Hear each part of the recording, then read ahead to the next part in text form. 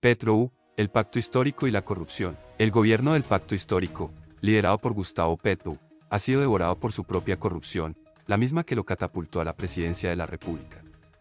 La corrupción se ha convertido en un problema estructural en el gobierno, y ya es inevitable que Petro enfrente las consecuencias de sus acciones. La paz total, que Petro prometió se ha convertido en un proceso de rearme y fortalecimiento de la narcoguerrilla.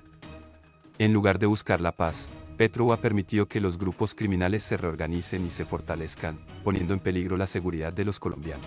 Es hora de que Petro asuma la responsabilidad de sus acciones y enfrente las consecuencias de su corrupción y falta de liderazgo.